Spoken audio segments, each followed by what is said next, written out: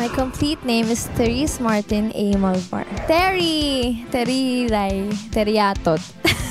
I like watching documentaries and um, calligraphy and movies and K-pop. Usually yung favorite genre ko, R&B jazz and also classical music. And my favorite artist, ang dami actually, but uh, right now it's BTS. My go-to video song is 1251, Someday, and Heaven Knows. When I'm happy, I laugh a lot. Super duper.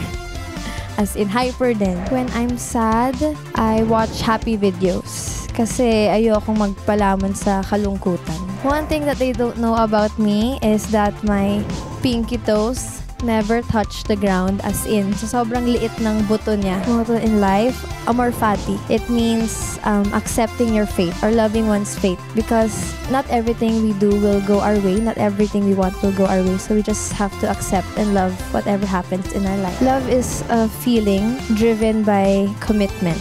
It is sudden, but it is also a choice to love someone. My celebrity crush, lagi ko tong Khalil Ramos po. Hello.